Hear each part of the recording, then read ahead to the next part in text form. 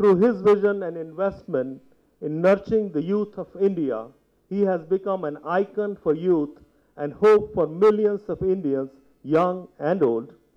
I'm so delighted to give you the former president of a student government and a distinguished alumnus of the University of Texas. Please help me welcome Honorable Naveen Jindal.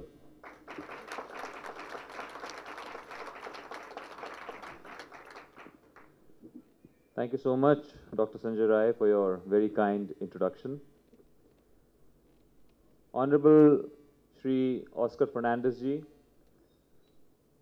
our esteemed leader, one of our most senior leaders in the Congress party and in our country, chairman of uh, Parliamentary Standing Committee on Human Resources Development, Dr. Pollard, President, Montgomery College,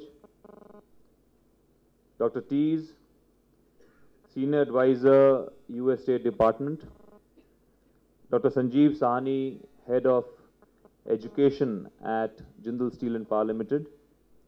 Ladies and gentlemen, it's a real honor for me to be here today. It's almost like a, like a dream come true that what we are embarking upon. It was uh, maybe six, seven years ago one of our uh, very senior leaders from our party, Mr. Digvijay Singh, he told me about the concept of community colleges. We just got to start talking about education, and he said what India really needs is community colleges. I had already come back from the US, but uh, I did not know about uh, what community colleges are. And he told me that community colleges, that no one is refused admission. In India, it's a very big thing it's very, very difficult to get admission in a good college in India. The good colleges, good universities are few and there's huge amount of uh, population of students who want to, who aspire to get into those. And then he said that no one is refused admission and you can learn whatever trade you want to learn, whatever interest you have, how much ever you want to learn.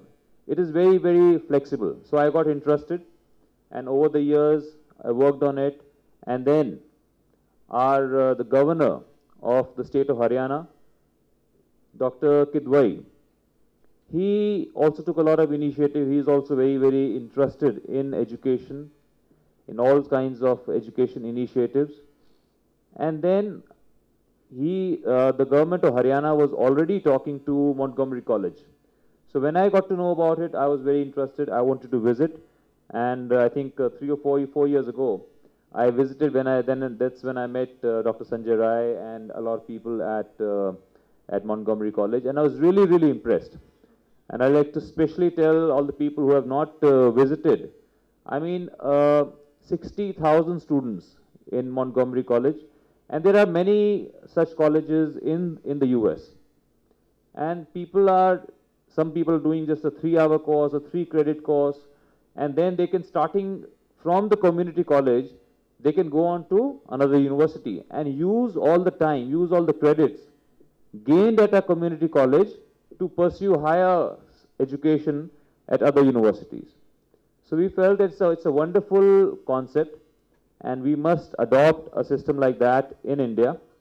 And I'm really, really uh, grateful to the United States India Education Foundation, Montgomery College, US State Department and uh, Mrs. Hillary Clinton for their support because we in India, obviously it is in our interest because we have a really huge population of the youth. And this is uh, the favorable demographic profile that our country is going through. So for us, it's really a window of opportunity. We must seize it. If we seize this opportunity, and give our youth employable skills, they would be a real asset to the country. They would really be able to contribute to India's development because we know that whichever country made progress, it made progress at the time when it had a huge population of the youth. So we are also going through that phase. But if we lose this opportunity and we are not really able to impart good education to our youth, that they are able to contribute to the nation's development, then this, the demographic advantage will not happen. It's not an automatic advantage. It has to be seized. And our government, especially our Honorable Prime Minister, Dr. Manmohan Singh, he always, he speaks about it, encourages us.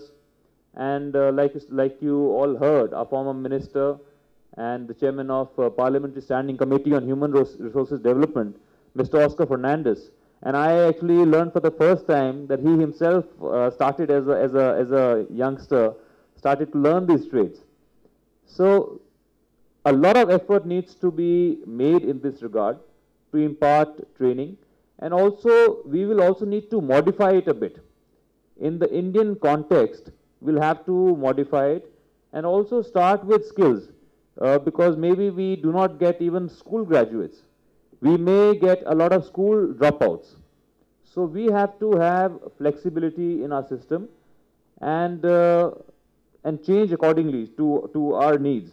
Because the idea is to be able to impart training and also as my experience as an industrialist, running uh, Jindal Steel and uh, Power Limited, I, I do realize there is a huge shortage of trained manpower.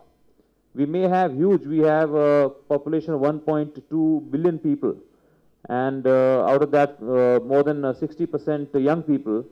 But still when we want to go and hire trained people, whether it's a driver, whether it's a cook, whether it's a plumber, whether it's an electrician, good quality technicians are very few and they are very much in uh, demand and they get paid uh, quite handsomely uh, from Indian standards. So the idea should be we should be able to train a lot, a lot of such people who do not, who have not even, who have just completed maybe high school or who, even who are school dropouts. We at Jindal Steel and Power Limited, we, are, we already are running uh, four community colleges uh, in Odisha, in uh, Jharkhand, then in uh, Chhattisgarh. And we are, we are training at present uh, 2,000 students every year. But we train to, we plan to train at least 10,000 students by next year. So we are already working and we will not be able to do all this without your help. So for all of us, for all of you to be here to help uh, India in this regard, uh, I have no words to thank you because obviously for us, it is our, for us Indians, it is our duty and we have to do this. But for all of you coming all the way from the US to come and help India in this regard, it really means uh, a lot to us. And I'm really grateful from the bottom of my heart. I'm really grateful to all of you and uh, even the ambassador and all the kind words and the kind of commitment that he showed to this cause. So, and I hope uh, that in the years to come, uh, what we want to set up is this few institutions and with your help what we're doing in Haryana. And I'd like to share with uh, Mr. Fernandes. In my constituency in Kurukshetra, two community colleges, one in uh, Kurukshetra itself in Umri and one in, uh, in Gula. Uh, two institutes are going to be, we are going to be getting collaboration from them. So, and I feel with these institutions, they should really be able to inspire thousands of such institutions all over the country. Because a good concept, I'm sure people would get inspired from this and it would really help tremendously for our youth to, to get skill. And we at Jindal Steel and Power Limited are also committed that in the next five years to take this number from 10,000 to 100,000. I think that's because we have to be able to make a meaningful uh, impact. So now when I make uh, this commitment, I was wondering, I said, is 100,000 a lot? I said, yeah, but we need to do a lot. So we, we must do it. And with all your support and with blessings uh, of Mr. Fernandes, I'm sure we'll be able to achieve that. And once again, um, we are really looking forward to hosting you in Haryana. So they are going to be visiting uh, Haryana. You'll be visiting uh, OP Jindal University. Uh, OP Jindal um, is the name of my, my late father. And uh, Mr. he never completed high school, my father. But he trained a lot of engineers. He trained a lot of engineers and uh, he always believed that he respected the engineers, but he said the person who works with his hands is the most important. He always used to talk a lot to the foremen, to people, and you know, he was always used to plan and really believe that it's a worker, it's a skilled worker who really makes uh, all the difference. So I think what we are going to be doing is also going to be fulfilling his dream. And uh, I, once again, I thank all of you, and I'm looking forward to uh, seeing you day after in uh, Sonipat in the university and uh, in Kurukshetra. And all this education initiative that we are doing, it's a philanthropic uh, effort on our behalf uh, because we, this country has given us so much.